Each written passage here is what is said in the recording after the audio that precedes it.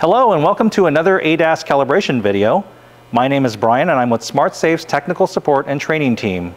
Today we'll be using our X431 Pro Plus and we'll be calibrating a 2021 Toyota Corolla uh, front recognition camera. So let's go ahead and get started. We'll be using our iSmartLink 801 display tablet and first we need to go ahead and connect the VCI to the vehicle. The VCI is conveniently located right here in the tablet. So I'll go ahead and get that plugged in.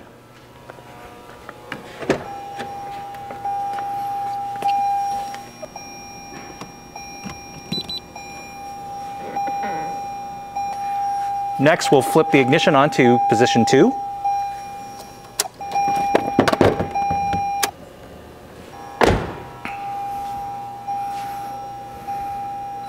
And then we'll start by pressing the ADAS calibration button.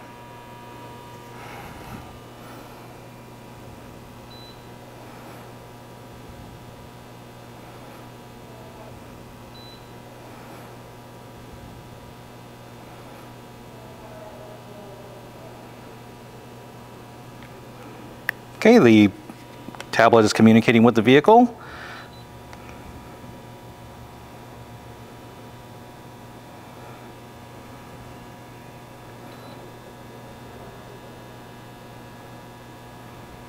And we'll go ahead and select 16 pin DLC. That's the default for Toyotas here in North America. And this being a 2021, we'll go ahead and select the 2021 model year. This particular vehicle is not equipped with the smart key, so we'll choose without. And we can see that we've read the information from the vehicle, so I'll go ahead and press OK.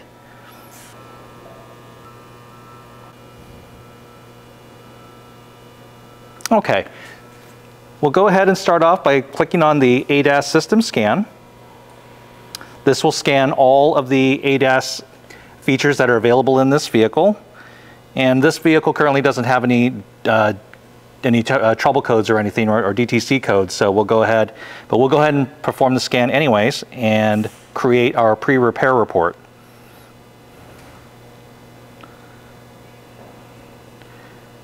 Now the pre-repair report is important uh, because you want to create that baseline for the vehicle so that if there were any any codes already on the vehicle, you wouldn't particularly be blamed for those um, that are you know outside of the ADAS um, functions. So we'll go ahead and create a report. Again, the report type will be pre-repair. And in the pre-report information, you can go ahead and enter things like a work order number or a maintenance number. This is also your opportunity to put the customer's name in there. You can also take photos of the vehicle. It has we have a built-in camera right here on the tablet. So I can go ahead and click the camera and take a picture. For example, uh, if we're doing a windshield replacement, we might want to take a picture of the windshield.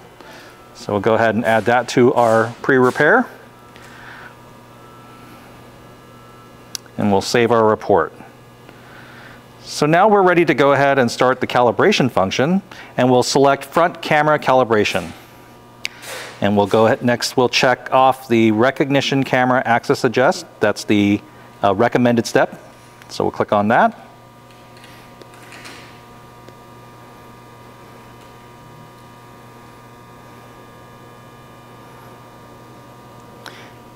And you'll be given a note of what's recommended to be performed, uh, basically your prerequisite checklist. So we want to make sure that uh, the vehicle is parked on a flat surface, the wheels are pointed straight, all your tire pressures are set to the manufacturer specification, um, that the vehicle doors are all closed, and that there's no weight or anybody sitting inside the car while you're performing the calibration. Um, so we'll go ahead and hit OK. Next we'll be prompted to select which targeting frame we're using, or calibration frame, and we're going to be doing it with the ADAS Pro Plus, X431 ADAS Pro Plus. So I'll select that. And we'll go ahead and move on to our first step, and that is to reset the device to all the default values. So let's go ahead and do that next. So are there are three positions on the frame that need to be reset. First is the parallel fine tuning, which is basically the yaw positioning of the frame.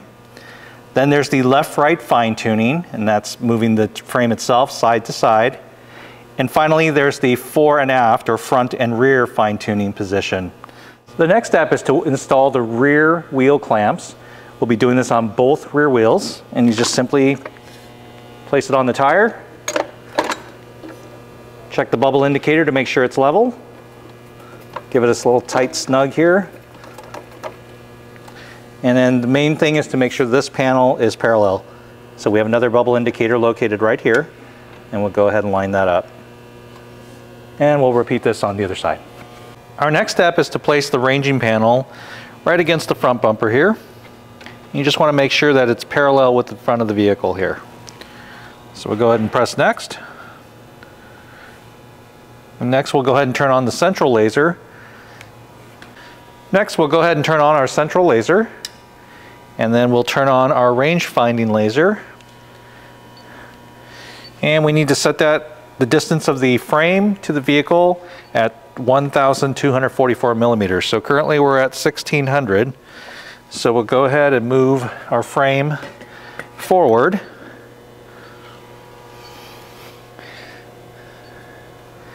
And get that close to 1244 as possible while keeping it as centered to the vehicle as possible. So it looks like we're at 12 30. And we're right about there. All right. So we'll move on to our next step. Next thing is to check the level of the frame. So we'll look at our bubble indicators here. And looks like we just need to make a minor adjustment to this side here. and we're spot on there now. So we'll go ahead and move on to the next step. So we'll turn on our, make sure that our stand is still at 1244. And next we're going to turn on our side lasers here.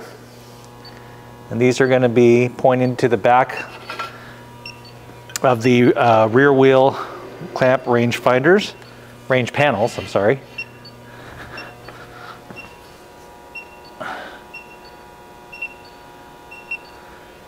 and we want to get that to an equal value. 4835, so we're going to turn this way a little bit.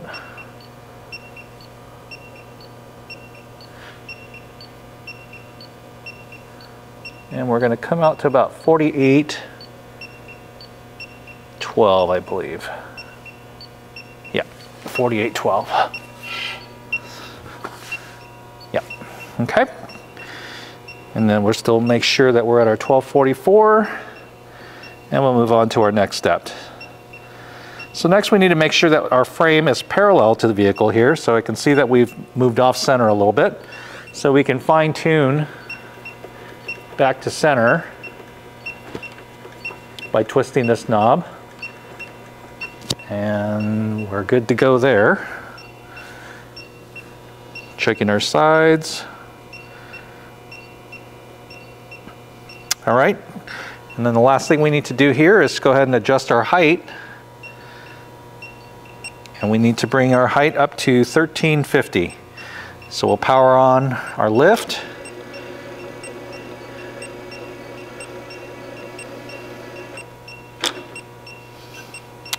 And for that fine tune adjustment, I'll just use the hand crank behind here to get it to our 1350.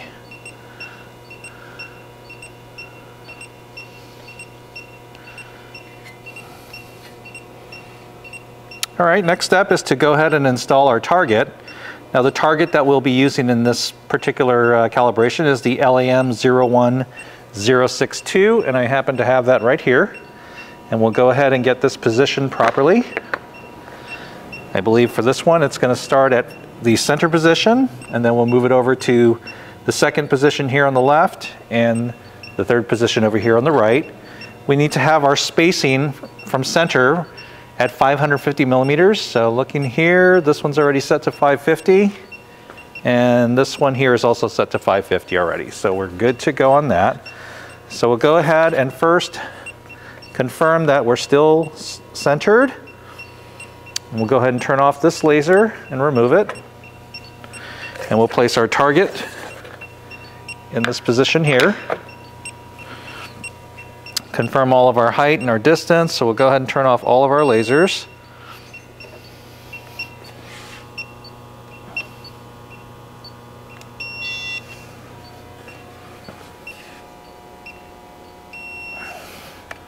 Oh, one more.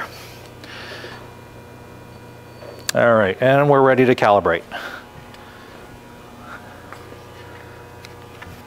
All right, we'll begin by pressing the calibration button. We have our target placed in our first position.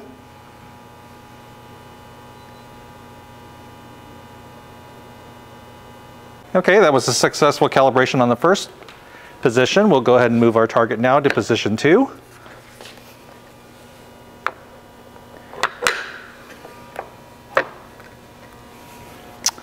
And we'll go ahead and press the calibration button again.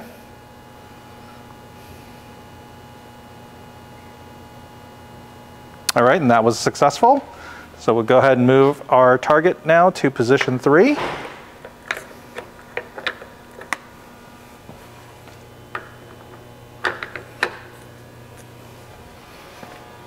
And we'll press the calibration button again.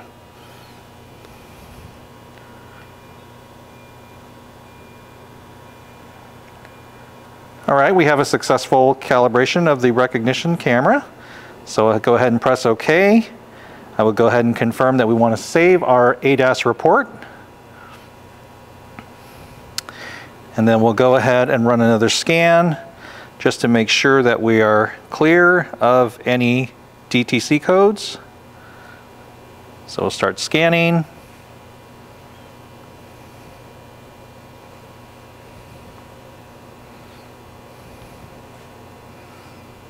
Looks like everything is clear, so I'll go ahead and generate our post-repair report. So click on po post-repair under report type. We'll click on the add button. We'll add our pre-repair as well as our diagnostics report to complete our post-repair and we'll hit OK. And this generates our post-repair report which includes the pre-repair, the diagnostics, and the post-repair results. So we'll click Save. And at this point, we could email it or print it directly from the tablet. So this concludes another calibration video. Uh, we hope that you find it helpful, and we look forward to seeing you for the next one. Thank you.